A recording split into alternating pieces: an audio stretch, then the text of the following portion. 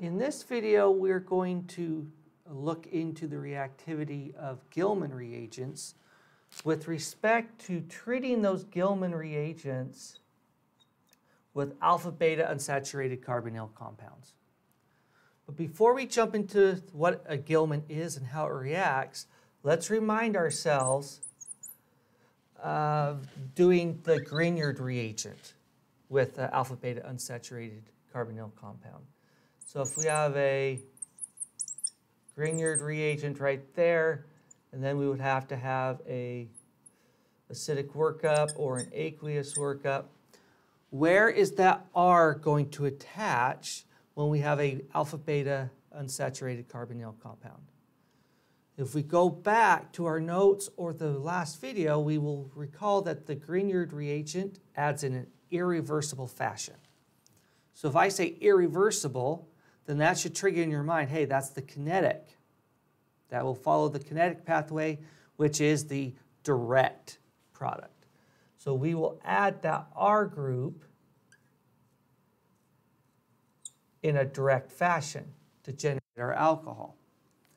And if we change this reagent to a alkyl lithium reagent, we would get the same exact product.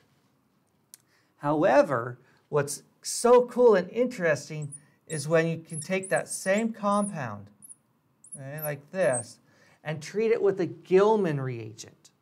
And a Gilman reagent is simply a dialkyl cuprate. So that means we have a copper metal there, and we have two R groups attached to it. And these R groups need to be the same in order for this reaction to be uh, useful. And then what do we have here? That, that copper is going to be negatively charged, and that's going to be associated with the positive lithium right there. So that whole complex is the reagent. And so we can call that the lithium uh, dialkyl cuprate, or easier, just the Gilman. And so we would do that in the first step, and then, like above, the second step, you're going to have a acidic workup. So we could use ammonium chloride if we would like. Okay, add a, a weak acid there. But what's cool about this now is watch where the R group adds.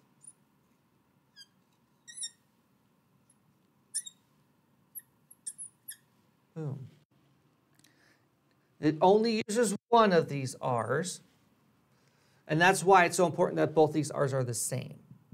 Because it's going to use one of the R's and attaching it to where? The beta carbon. And so that would be our thermodynamic product and our Michael addition.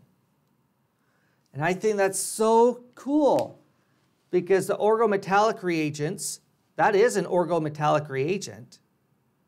But why does this one add in a Michael addition fashion and the others, the Grignards and the alkyl lithium, add in a direct fashion?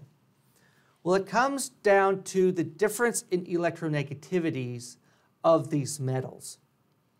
Okay, so if we take a look at the cuprate, so let's go lithium, cuprate, and draw my two R's right there. Okay, and let's do a Grignard, and then we will do one more, put it right here, orgo, or uh, alkyl lithium reagents. Okay? And we've already seen that these two add direct, and this one adds in a 1-4. So that's 1-2 direct, 1-4 conjugate, or Michael addition. So many ways to talk about these things. Okay, so it has to do with the electronegativity difference. See, what do I mean by that? Let's just say for this example, all these R's are exactly the same, okay? Some type of carbon. And so it has 2.55 electronegativity. So the electronegativity for carbon is 2.55.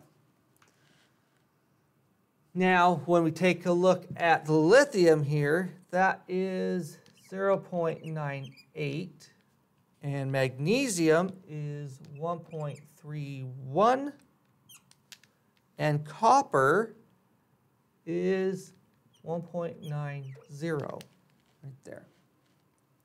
And so what's happening here? Do you see the difference between the R and the lithium?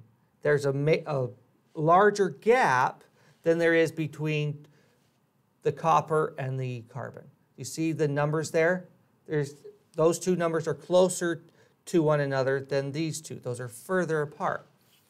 And so that electronegativity difference has a effect on the reactivity.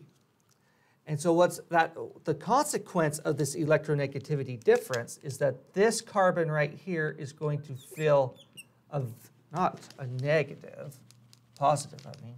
It needs to be a negative. So this one's going to have a much larger partial negative. And this one's going to have a smaller partial negative. And then this R group right here is going to have the smallest, all due to that difference in electronegativity. And so the alkyl lithium reagents are the most reactive because it has the larger difference. And, and then the Gilman reagent has the, is the least reactive. And the consequence of those different reactivities, one, these two are direct. Gilman is a Michael addition. So I think that's pretty slick. So you have to always be aware of that difference, or you can get caught up